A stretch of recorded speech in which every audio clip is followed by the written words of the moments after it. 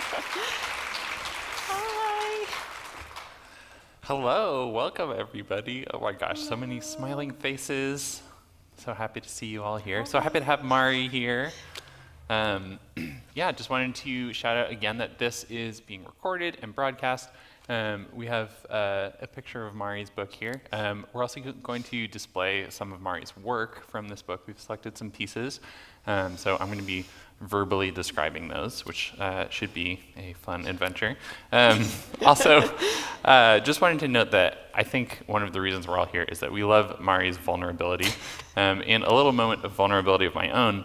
Um, I have a bit of a stutter on words that start with vowels. So bear with me. We're going to get through it together. Um, so, yeah, I am so excited to be here talking to you. Thank and you. I think, like, we're here to talk about the book, which is an amazing book. I just read it. I cried. I laughed. It was really incredible. Um, we all love your work. I think you Thank like you. do some really amazing conversation about art and healing and finding yourself. Um, and you tell a lot of really great stories about your life as well. And so I wanted to cover sort of those those three topics today. Cool. Um, and one thing that I was really struck by in your book, and also your work in general, is you have this this deep kind of reverence for this ordinary magic that you see like all around you. And that's actually a phrase that you use in the book that I really like. And so um, I would love to like just sort of start by hearing a little bit about you and some of the sort of ordinary magical things that you love. Yeah, it's so funny. yeah, well, I've been keeping a journal since I could write. My poor mom has like a closet stacked with journals, just like every thought I've ever had in my life. And the cool thing about looking back on them is like, I cannot tell you a single thing about the job I had when I was 25 at this random nonprofit, but I can tell you everything about the flowers on the way to that job. Like the, my walking commute, I've written it all down. I tell you about like the strangers I saw on the way, the girl on the subway, whatever. Like, I think that because I was such a journaler and always recording the things that happened to me, I can really see that it was the small moments that really, really stood out during those times. Like, that's what I chose to record. And I love when I read, like, old timey journals of people long ago, how they would talk about, you know, like, their wallpaper and their dinner and that kind of thing. And maybe you didn't know the big achievements that they had or the big accomplishments, but you knew what they ate for breakfast. And that is really sometimes the stuff that you remember the most. So I think that was apparent to me pretty early on that I am going to remember these small moments.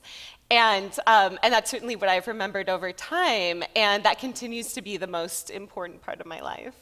Yeah, that's so nice. I so when did you start journaling? What what was it that led you to journaling? like five. I don't know, just like my little thoughts. I've always been a big letter writer. I've always, um, I used to write letters to my mom every morning.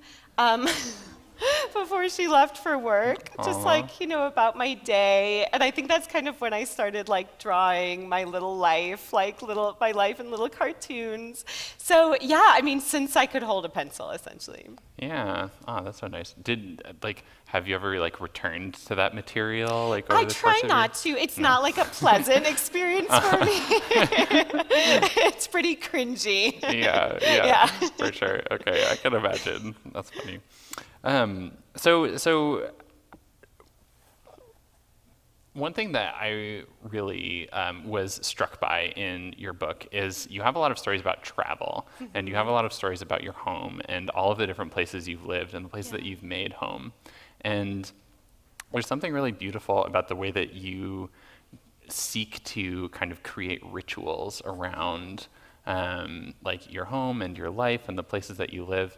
Uh, and what are some of the um, rituals and the places that have become most important to you? Oh, yeah, I am. whenever I move somewhere, I do really try to create those rituals immediately because for me, that is the way that I feel at home somewhere. Um, even especially when I'm traveling. Uh, when I when I live in a place, I always try to shake things up, try to explore new places, try to make it feel like I'm traveling in the city where I'm living. But when I'm abroad, I love to feel like I belong at a coffee shop. So I try to go there every day, and then I'm like. Ah, I had the best time living in Berlin for five days. so nice, really miss it. Um, so I try to create those, but now, I mean, nowadays my drawing really is a, a lovely daily ritual for me. It's the most relaxing part of my day. Something that I, I find very funny is that I'm a full-time illustrator and I spend five minutes a day actually drawing.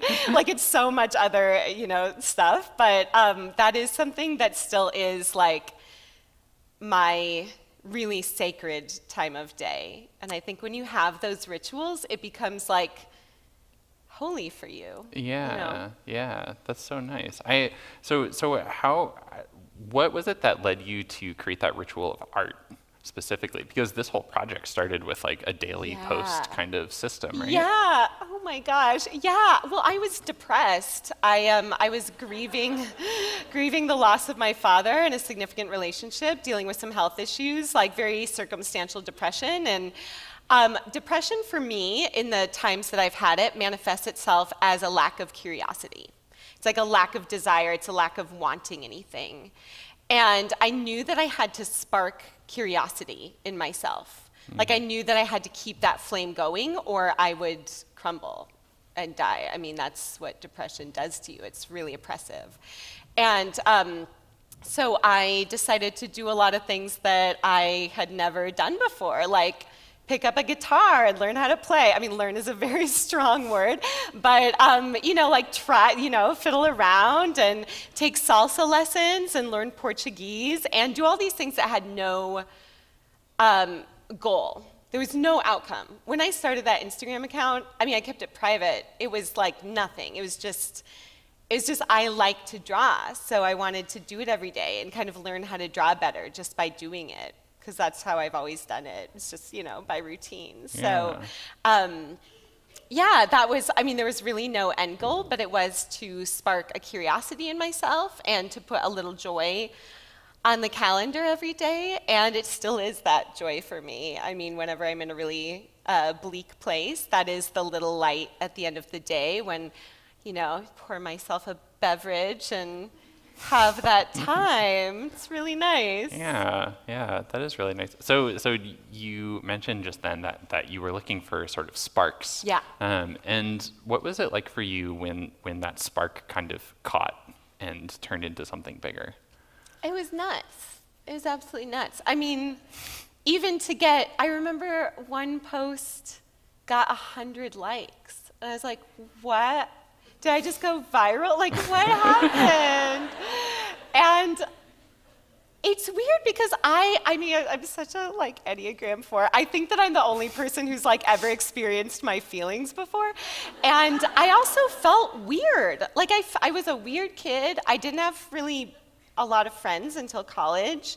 Um, I've always felt a little different from people. I don't think I'm, I still don't think I'm relatable. I think that I'm honest, you know, and when someone's honest, people tend to relate. But I didn't think that I had a life that a lot of people could relate to. And it was, and I felt like sometimes I kind of push my limits and see the more specific I get, what is the response going to be? And the response was greater because I think with specifics, you, you feel the emotion behind that, and we all have the same emotions. I mean, it's kind of crazy. It actually makes me like think the world is a scam because Yeah. we're like, we all have the exact same, we're all the same person. Like, like, are we just like repeating each other's mistakes and triumphs over and over? I think so. So that was really, I mean, it was interesting on a personal level because I didn't feel like I had that much that people could relate to, but I also, it was also interesting on an anthropological level, like,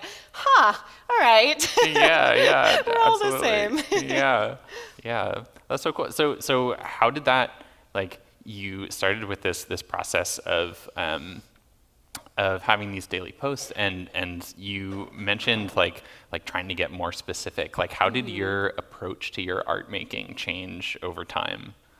I think, well, when it started, it was really just an exercise in drawing. I mean, Yeah. if you look at like the earliest posts, it's like a picture of a leaf or a pumpkin, whatever, like whatever I was wanting to draw that day.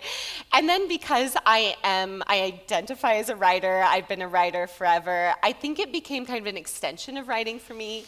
Especially during uh, my bout with depression, it was really hard for me to sit down and write an entire essay. And that was very disturbing because that's always the way that I express myself. And that always became that always came very naturally to me. And it was weird to not really be able to do that, just not have the energy or the interest or like I just didn't have it anymore. I kind of lost it. And so it was when I was making these immediate drawings, it was almost like an entire essay in one little cartoon. Like I could explain something without having to write all of it, which would have taken so much energy that I just didn't have. And I could just do a little dialogue, and that's kind of what I would have written, you know, a couple of pages about. Um, so it became a little more like, you know, over time, less, less, um, you know, just observational of things and more observational of my emotions and experiences. And then over time, I got in a pretty like happy place and didn't have that much to write about anymore. So then I started drawing on memories from, you know, 10 years of different jobs and heartache and grief and uh, all of these things I had been through.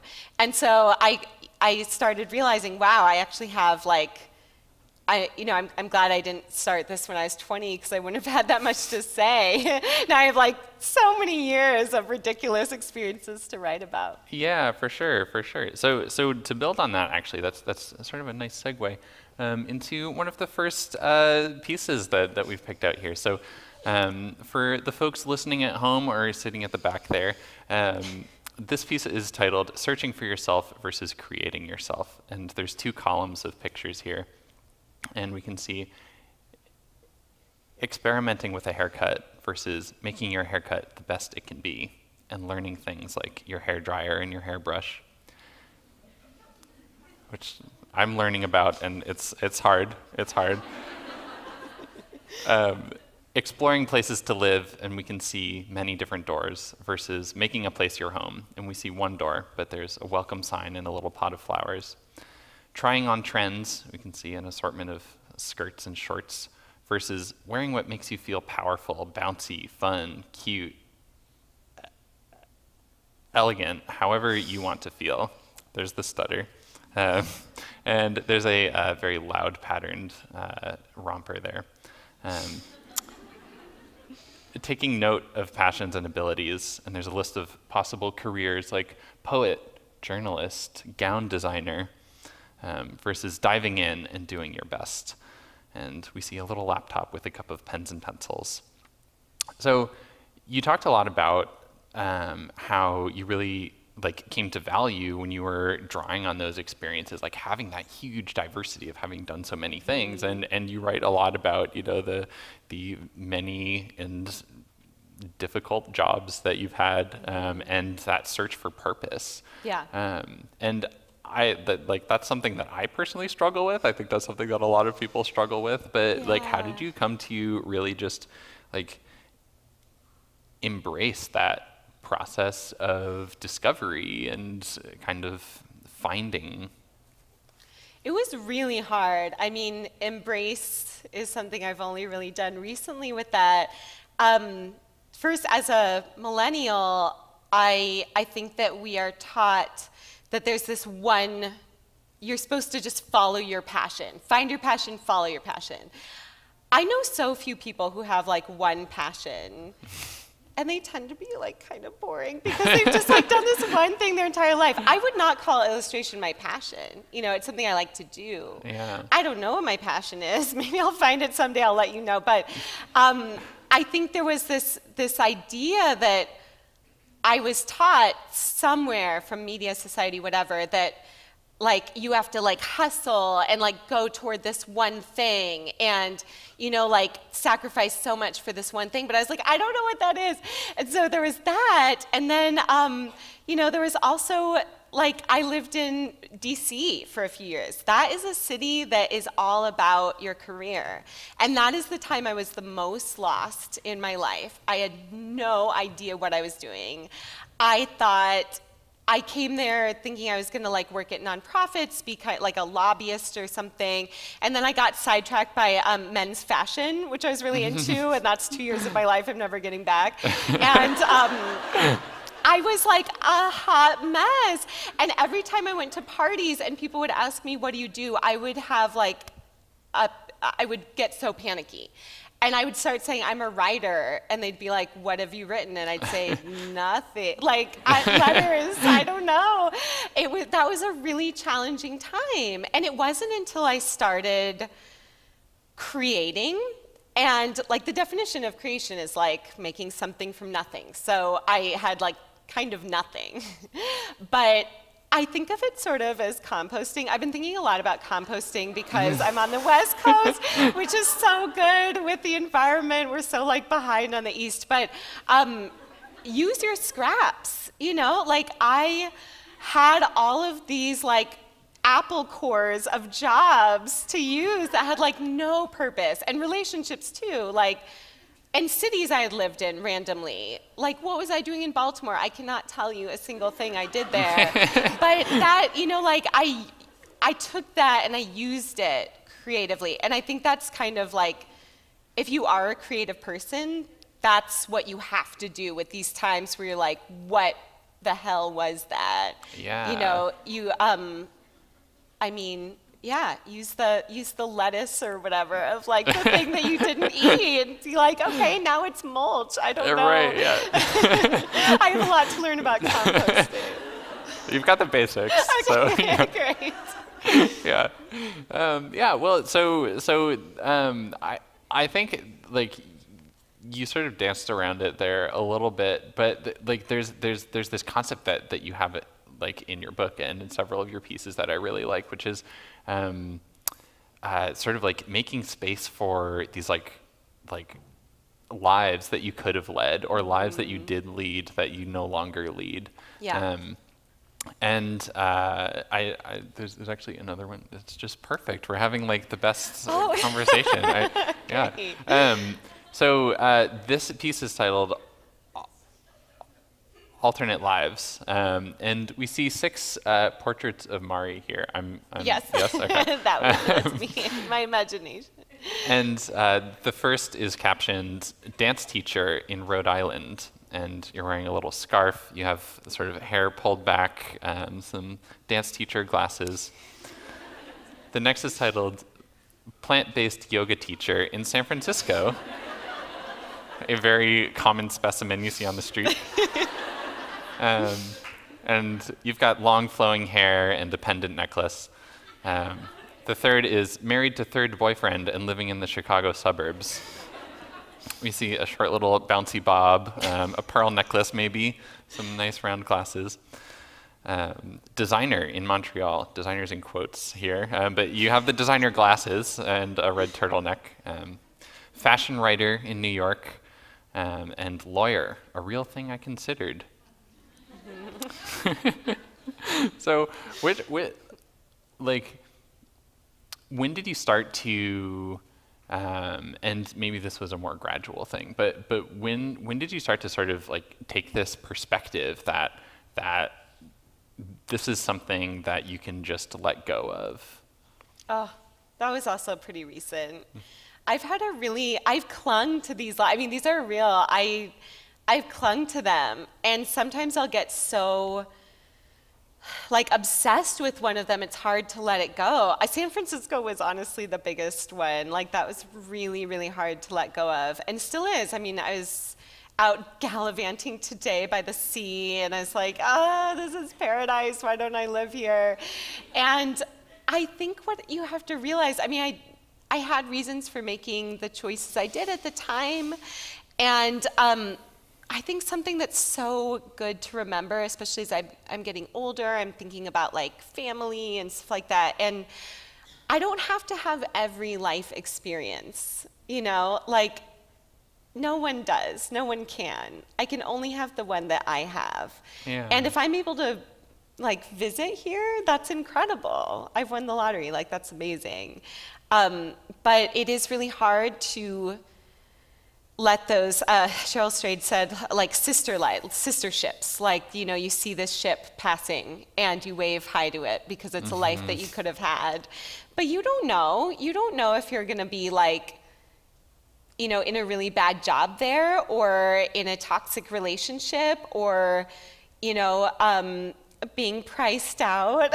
you don't know. Yeah. And um, you can only do the best with what you have and the information you have at the time. And again, like using what you have gained in your life as uh, a lesson or something that brings you closer to yourself. That's all you can really do.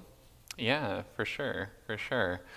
Um, and and in terms of like that that moment when when you sort of realized looking back that this was something that you could use to kind of fuel your art and give new life both to those experiences and towards your artistic journey. Um, I, I, think th- th- there's there's something nice in the book about how it seems like a lot of uh, sort of decisions that I personally would stress a lot about, like big life decisions, um, you took a very sort of like practical mindset towards like this is something I'm going to try, and if it doesn't work out, that's fine. Um, but that moment when when you you sort of like stepped more heavily into this art making process mm-hmm. and your career as an artist and a writer now, um, what was it like to to to like take those first steps t- towards like claiming that life? And shaping that life? Hmm. I feel like I'm still in that process. Um, I think it took a while. I mean, I, I, I, think it was fortunate. I was a little older when I started. I was 28 when I started drawing. And um, I think because I'd had that life experience, I didn't have time to worry about, like, am I a real artist? Mm. I didn't have mm. time. Like, I, I didn't have the energy to stress about that. If there's one thing I can communicate with what I'm doing, it's you can do this too. Like, there is no line between artist and non-artist except like someone who makes art. like there's not I didn't go to art school. I didn't know a thing about illustration or cartooning before I started. I'm so grateful that I have learned about it, but coming into that was, I think I had at that point the perspective of, especially because I was dealing with grief, which manifested for me like, I don't, I just don't, like my time is running out. I, have got to do what I want to do, and I've got to make the things I want to make, and I've got to say the things I want to say, and I don't have time to be insecure about that. Yeah. So um, stepping into that role was more just like survival. It was like I would honestly rather die than not express what I have to express or tell this story. And so that said, I, I, cannot be worrying about like what people think about it or if people don't think I'm like legit enough or like I don't like I don't know how to scan things. Like I I don't know. I just got to do it. I just got to make yeah. it yeah absolutely. Um, and you talk a lot about um, like that that process of healing, both mm-hmm. from physical hurts and from emotional hurts. Yeah. Um, and um, specifically in the book, um, there you um, talk a lot about the act of like preparing to heal, also. Um, and and and what was that uh, like healing process like? Like, what were some of the sort of like significant moments of healing that you experienced? Yeah, healing, I mean, I was thinking today, I'm healing from a heartache right now, which in the grand scheme of things, I mean, I've had like 950,000 like breakups. It's not really that uncommon for me, but it's still it like it always feels like the first time. Not only the first time it's happened to me, but like the first time it's happened to anyone. Like, yeah. have you guys felt this before? This is crazy, yeah. and it's such a it's such a small thing. I mean, I I've also healed from. Uh, a deadly disease, and I've healed from grief. Those are, you know, I guess, kind of objectively harder things to get through, but for me, they sort of follow a same pattern, which is going into possibility again. Mm-hmm. And I think when you are so harmed, like for me being sick, I lost so much innocence with my body. Like I just felt like I couldn't trust my body anymore. I still feel that way. I felt like in a lot of ways I couldn't trust the world again. Um, I've experienced trauma before, and that's, you know, that is like, it makes the world feel so empty, and it makes the world feel like a scary place. Yeah. And like, it's hard to trust anyone. And, um, you know, healing from grief is like healing, it's the craziest like cyclical, strange. It follows no pattern at all. It's just like loops, and it's um, and sometimes it's like two steps forward, one step, or rather a few steps back. But I think again, like the common thread is just coming into can I be possible again? Can I can again? Can I um, want things again? Can the world be a place of potential rather than like fear for me? And for me, the, the best way to kind of uh, manifest that in my life is um, through trying new things because it makes it feel like, wow, I didn't know that this part of me existed. And if I don't know that this part of me existed, what do I not know about the world? You know, what, what wonders does the world have for me? Yeah. And so, especially like physical healing, there were so many things I couldn't do anymore. Like, I literally couldn't write or draw. But I started learning about wine because I could like hold a wine glass. I don't, I wouldn't like recommend this for like physical healing, but whatever, I was in Spain. And, um, and it was like something I could learn about. Yeah. And I always thought, oh, I'm like, my palate is so dumb, like I'll never know about this thing. And then I mm. became kind of an expert at it just because I had to, and it opened up a part of myself that I didn't really know existed. And now I can order the wine for the table. so thank you, autoimmune disease, for giving me that confidence. Yeah, yeah, that's that's a superpower, Yeah, basically. absolutely. Yeah, yeah. I'm like, what's the second cheapest? Right. you know? Yes, yes, that's a good trick. Yeah. Yeah. Uh, I'm gonna jump forward a little bit just because there's one that I think is very apropos. Cool. Um, so yeah, so so so here is um, a drawing of a little piggy bank, and it's labeled the Future You Bank. Um, and there are a series of coins that could be dropped into it. Um, one says Pilates, one says banjo tutor, one says surf school, um, and one says Portuguese classes. Uh, and it's captioned, I recommend setting up automatic monthly deposits. So um, you mentioned this a little bit, but what, what are some of the coins that you are most glad to have in the future You Bank? Oh, um, I think the biggest one was reli- reliance on my own way of making myself happy. So reliance on my own happiness. Like I said, you know, like when I was working at this place in DC that I can't even remember the name of, I do remember the commute because I walked there and back every day. It took an hour each way. But that was sometimes the happiest part of my week, you know, and I relied on that to make me happy. And I think such a good use of time.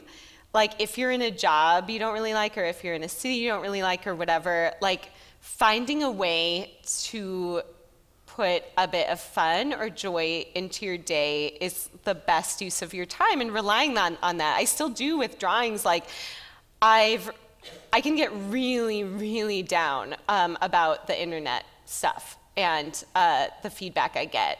But drawing is still the thing that lifts me up, you know? Yeah. It's like that kind of interesting balance.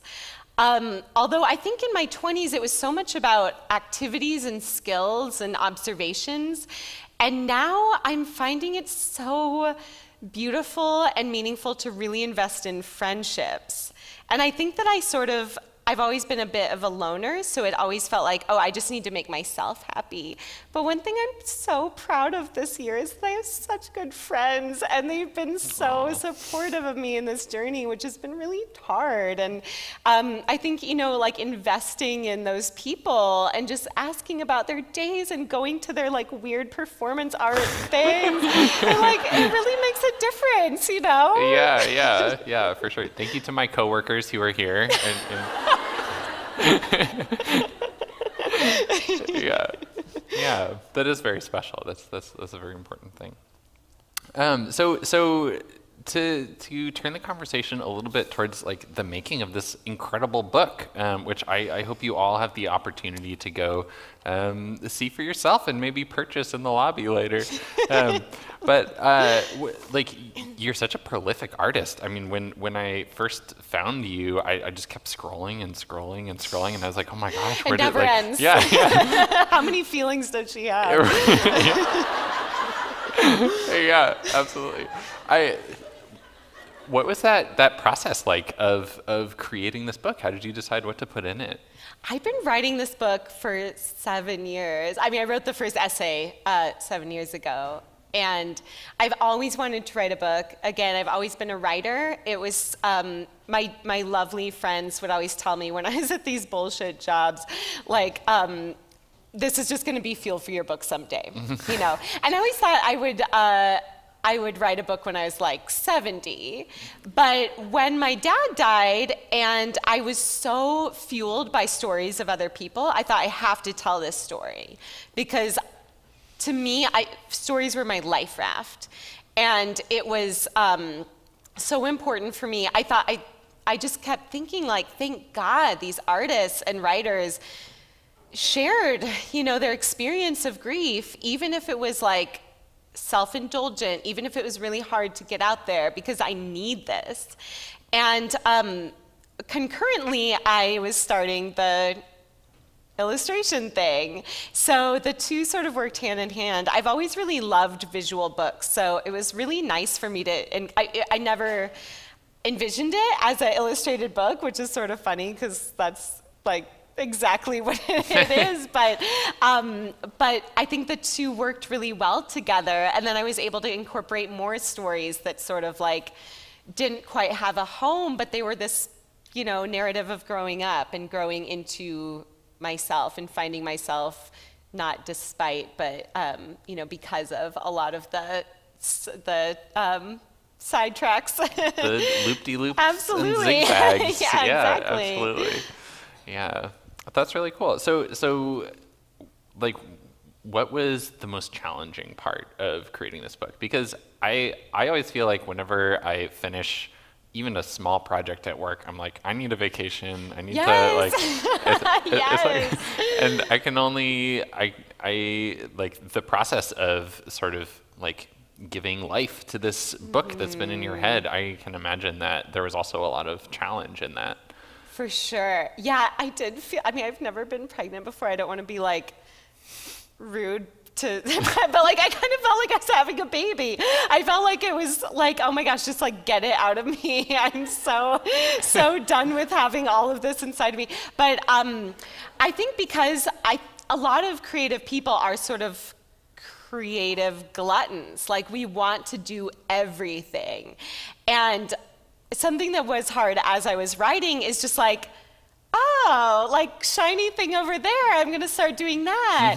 and I wish, um, you know, just for my own sort of sanity or clarity of mind, I'd like really focused on this one thing. But there were too many fun things. It was right when I was kind of coming into my new career, and I just wanted to draw everything, and I was so excited. And um, I still, I mean, there's so much energy in this book because I was so, I was such an, it was such an enthusiastic time of life. And, um, you know, I went to Spain to write it. I was loving life. I was like living out my kind of bohemian artist dream. And then I guess a very literal challenge is I became paralyzed with an autoimmune disease and I could not write for a couple months. Um, and I think, I don't think there was any purpose to that. I think that was a total purposeless, painful experience, but Yeah. it was a lesson for me that you can work your whole life for something and it can be taken away. You know, like I wouldn't have been able to finish that if I hadn't recovered um, about six months later. So that was a really humbling experience, and it made me all the more grateful to get it in the world because I don't take that for granted. Yeah, absolutely, absolutely. Um, to speak to some of those things where you said like there's just so much that, that part of the challenge was was figuring out how to focus. Um, what were some things that, that were maybe left on the cutting room floor? Um, my gosh, like the seven other books I started. I there were so many like sad domain names that will never be used because I started like started new projects. I just wanted to try everything. Um, I was like writing like about fashion. In the meantime, I was really interested in fashion and doing a lot of um, different. I mean, I I started getting opportunities then with um, brands and like famous people. It was such a weird time, such a magical, strange time of life. Yeah. And I finally learned that I really had to decline in order to make my work better. And that was a really tough lesson to learn. It's still really hard for me. Um, but I feel like, you know, I'm I'm not dead. Like, I have so much more life to live, and hopefully, those people will still be interested in a few years. I don't know how relevant I'm going to be, but we'll see. yeah, yeah. Oh, that's awesome. That's so wonderful. Um, so, do you think there's going to be a sequel? I mean, I'm hungry for more. Yeah, for sure. Yeah, I mean, my uh, something I learned from this book is that I love writing books. I love it. I loved every second of it. So I definitely want to write a second one. Yeah, for sure. Um, I so I think uh, like as someone who um, like has a lot of artist friends, like tries to do art myself, I like personally run into a lot of like moments of doubt where I'm like, oh my gosh, what am I even doing? Like, what what's what's the point of this?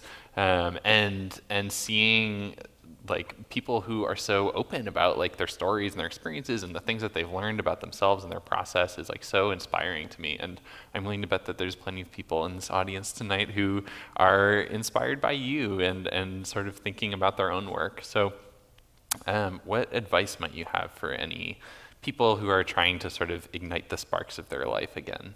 Oh yeah.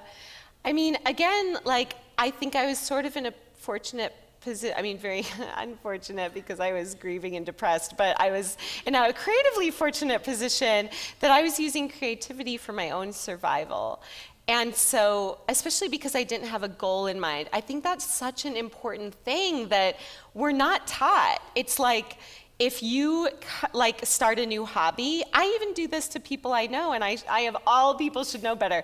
But you want to ask like oh what are you going to do with that? Or what are, what's your end goal? You know oh do you be, do you want to become like a succulent um, instagram star? You know like why are you learning about this? Are you going to be like Yeah. a compost queen? Like Right. what is it? And i think like doing something just to enjoy it is such a gift. And this is what I really learned in my illness is like if I had done 2 years worth of art for the goal of having x amount of followers on Instagram, that would be such a waste. You know? And I was I felt very lucky that I could look back and see that as just pure joy and pure love. And of course like now I do it for a job. It's not always, you know, glamorous and, or enjoyable, but I still don't have like a specific goal with it. I'm mm-hmm. still doing it because it's so ingrained in my identity. It's so a part of my own daily happiness. And if I can just keep doing that, I think I think people can really tell that authenticity in fellow creators. And so I think where doubt comes in is like, oh, I'm not going to like make that goal that I set for myself. But like, you know, you you may not make it for a lot of reasons and if the goal is just to keep your curiosity alive and your happiness going strong, then you've won. Wow, that's that's amazing. I'm gonna write that down really quick. Don't mind me. Um, well, so I just wanted to to pull up another. Uh, so I I liked this this little picture you had towards the end of your book. Um, finding yourself equals creating yourself. And here we see Mari sitting at a desk. There's a plate of cookies. Um, one has a bite taken out of it. Um, there's a little cup of tea. And um, there's a drawing that says, I want to be. And it's Mari in a fancy red dress and smashing looking heels um, standing in front of the Eiffel Tower. Um, and you mentioned in the book uh, that, that, that one of the um, ways that you try to discover yourself and kind of make some of these decisions is um, to impress both your like five year old self and your like 90 year old self. Mm-hmm. Um, and so thinking back to um, maybe that kid who was journaling, um, how do you think she would feel sitting in the audience tonight? I think she'd be pretty into it. yeah. Yeah. Even when I was really, really little, the people who I loved the most in the world were like old ladies who wore like feathers in their hair and had like been all over the world and had many lovers. I always thought that was the greatest. And I always like start from when I was 10, I was like, I want as many experiences in life so I can be that with the feathers. Like I want that. and I think like more so I mean, five-year-old Mari doesn't know what Instagram is, but but she does know like how many places I've been and like how many things I've done and the people I've met, and I'm happy with that. Yeah. Oh, that's so nice. That's so nice. Where do you hope to go next? In in like life. Yeah, or? yeah, I, yeah. Like like if you're uh, going to be that, that woman with oh feathers, gosh, yeah. I, do you have another adventure planned? Well, like physically, I'm going to Australia uh, for my next book tour, and I'm very excited to be single in Australia. that sounds great. Um, I hope to get some stories from that. But um, I, I feel like because this was so not expected, I feel like I was just born and like I don't know what's coming next and I things I want to do but I feel so open to life and there's so few times of life where you feel that way. I haven't felt this way since I was two. You know, like I, I feel like I'm learning a new language, I'm learning about the world. There's so many things I realized I, I didn't know. And what a like wonderful place to be. It's like I could be surprised by anything. Yeah, absolutely. That that life full of possibility and cans. Yeah. nice. It's cool. Yeah. Cool. Well, I'm looking at the time here. I think it's it's just about time for audience Q and A. Oh, finally see you. You can raise your hand and we'll come and find you. Got a question right here in the front. Hey, Mari, thank you so much for coming to SF. Um, I've been a fan for a while, as I'm sure many people in the room are. Um, I had a question kind of following up to when you talked about investing in friendship. So, one thing that I've noticed talking to my friends who are also in their 20s, like, oh, yeah, like, I have no idea where to start making friends. Like, there's no, like, it's a really bad example, but Tinder for friends. Like, Yeah. if you want to find friends, kind of like, oh, like we met at a bar, we met at a coffee shop, or something like that. So, Yeah. you talk about investing in friendships. How do you get to that first step of just like finding people that kind of click with you in a natural, unforced Yeah. environment? Yeah, that's a great question. Well, I know, I mean, I, I spent a lot of time really getting to know myself. And one thing I really know about myself is that I'm an open book and I'm very attracted to open books. So when I meet an open book, you know right away. You know, like that, it's just this instant connection. And so those are the people I just like, like you are doing something with me, like we are gonna be friends. That's just something I really, really value because I need people to really go deep with me. I've been through a lot. I I need to like get there with someone pretty quickly. A lot of people don't need that, but it's something that I need. So when I recognize it, I don't let that go. and I find that people who are like that also really appreciate that, you know? And if you have this like very deep well of empathy, I think people can see that and they recognize it in each other. And just, I mean, some of the best friends almost all of the best friends I have, I made in my 20s were people who were going through something at a kind of, um, you know, a hard time that they probably wouldn't share with everyone. But I am so excited to share every thought I've ever had right away. And so I think that there was that kind of instant bonding. It was like, let's go through this together. But it's hard. I mean, dance class is fun to meet people. Events like this, everyone's cute and like happy and sweet. Next question on your right. Oh, okay. I thought I wanted to hold it. Um, we could be friends if you want to talk to me after. Um, I was wondering how has your internet popularity affected your life and your relationships, and I guess. Wait, where are you? oh, I'm so sorry. yeah, how has taking off online affected your relationship with people and the people that you inspire you to make cartoons? Like, are people like, oh, is that about me? And in general, I think as an artist, and I also do cartoons, I think I see someone like you, and I'm like, that's the goal. Like, when I get to that point, I'll be happy. And do you see yours, like, do you measure yourself in that sense, or because you weren't headed there, does it not compute that way, I guess? Um, yeah, uh, first question, I, I am really protective of the people in my life. And I don't write about anything, or I don't, I, I write about it, but I don't post about anything until I'm healed from it. And a lot of times that's, that's you know years later. And I never want people to think that I'm making art or writing out of you know a place of gossip or spite because that threatens my integrity as an artist and this is how I make my living. So um, you know that would not be a good way to go about it. But um, I'm also going to use every relationship I have, and ultimately I think it is for you know, the good, but I, I try to work from a place of healing first.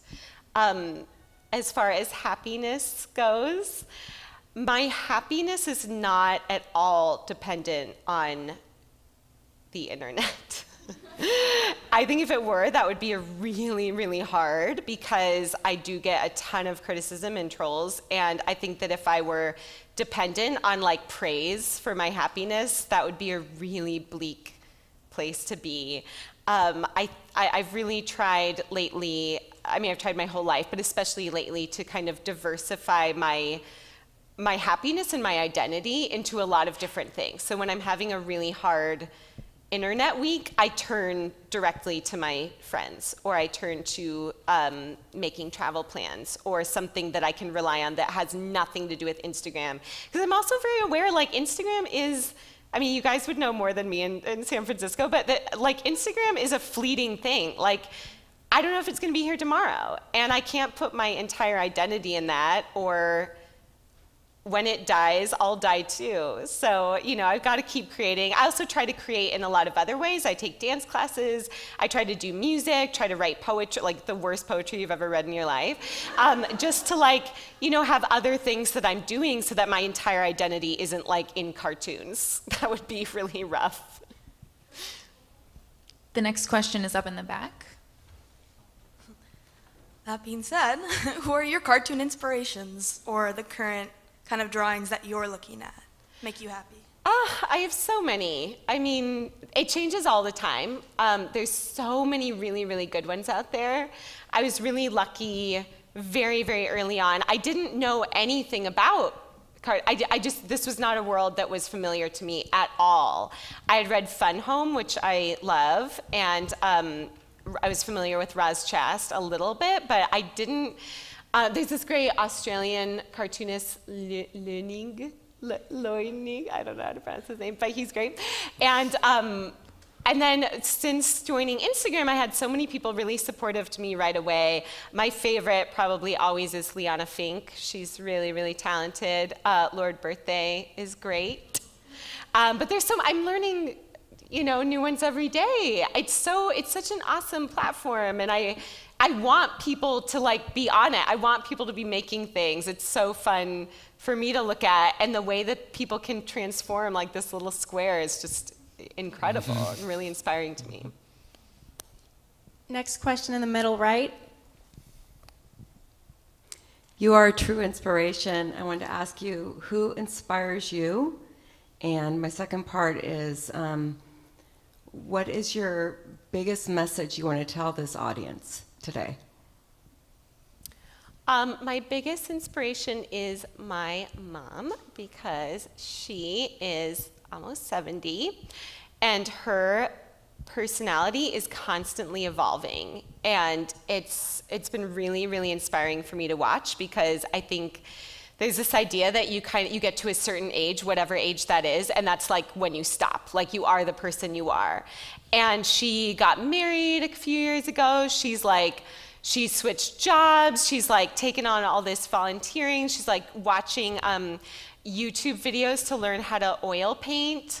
Um, she's like learned Instagram. She reads my comments for me. I don't read them, but she'll like send them to me.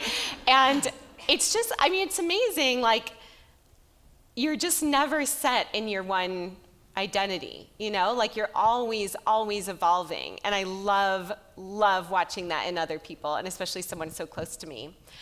Um, the one message, I, I, mean, I'll, I'll say what I said earlier, like, you can also do this and you should also do this. Like, if you have a story in you um, that you feel at all compelled to share, it is worth sharing, it is needed.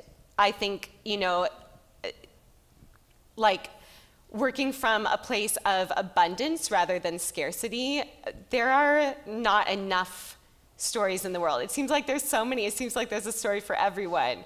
There's not your story. And however you can express that, whether it's to just friends or like in your journal or through like splatter painting or whatever, I don't think there's like there's enough art in the world. There's certainly not enough authentic art. So if you have it in you, do it.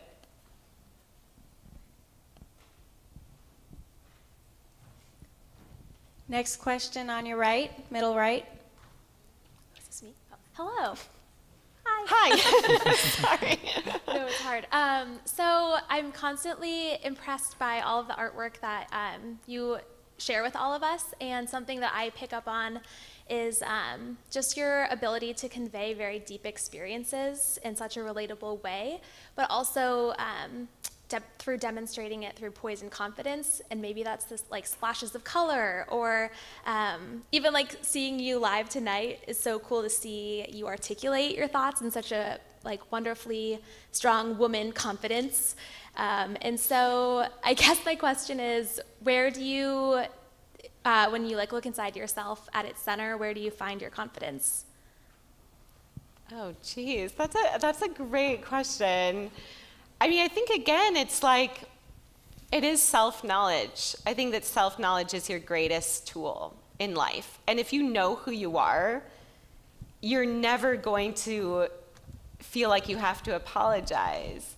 And I think that it will be that will be a lifelong journey for me. But I spent so much time feeling like I was doing everything wrong, and that gave me so much time to really learn what worked for me. You know, if I had gotten a job at the New Yorker when I was 20, I wouldn't know myself that well. And I think it was like hitting walls and like um, falling over and just seeing how much I could really take and taking those things that were really difficult for me and finding.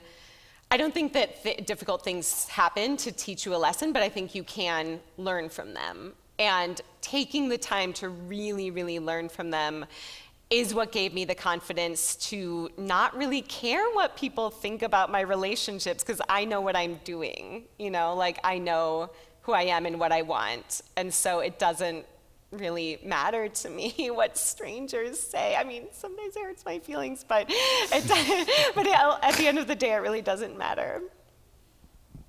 So we have time for one last question. I just want to remind everyone that Mari will be signing books in the atrium directly after this. So please go buy some copies, support Books Inc., and thank you for coming. And this is our last question. Okay, no pressure.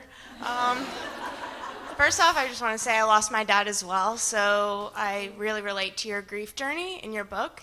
And props to you for talking about your mom without crying, because my mom's like my person now, too, so awesome. Um, I just wanted to know now that you're kind of like insta famous and doing all of this art and creating, do you feel daily pressure to make your last post as good as you know the first, or just that pressure to continue to create good art, good good words for people. Um, because every time I see Instagram and I see another post from you, I'm like, wow, that's amazing too. so I just didn't know if you feel any like societal pressure, like internal pressure to do that. Oh, thank you. Thanks for sharing. Um, no, I don't. I feel so lucky. I feel so lucky. I mean, again, like, it's not the biggest part of my identity. And um, I really like doing it. And I think there was there are some times when again like I'm I'm kind of in a good place or a mediocre place or just not really feeling that much and I'll think, ah, I'm not going through a crisis. Like, what am I going to write about? But I do have a lot of memories. I do have a lot to draw from. And then I'll like talk about that. Like, I think actually the hardest part for me was when I was um, healing from uh, disease and post trauma, really. And I was in a really, really bleak place. And it was very hard for me to make art. I was like trying to come up with stuff. And it just, I think that I did feel pressure because that was like as I was writing my book. And I felt like I have to like sell books eventually. But what I did is use that like hard time to make art about depression and mental health issues. And then my art became something new. And I think that is the gift of, you know, a really difficult time is that it forces you to be creative. You have to think about how to do something in a new way. Because if you're doing it the old way, it's not going to work. I mean, even like for me, um, like dealing with trauma in, in different ways in my life, uh, was the feeling that I am a new person now, so the old rules don't apply. And when I was trying to make art with the old rules, it was terrible. But when I made it actually about the thing I was going through, then I think that it became just a new thing. So as long as I, you know, keep it interesting for myself and I don't have any like boss, uh, Insta Instagram boss like telling me like this isn't how you make it, then whatever. Cool. Well, thank you so much for coming. Thank you so much for all their wonderful answers. Thank you so much. Thank you. Mari's book is amazing. Go buy it in the lobby, say hi, and thank you for coming to the JCC.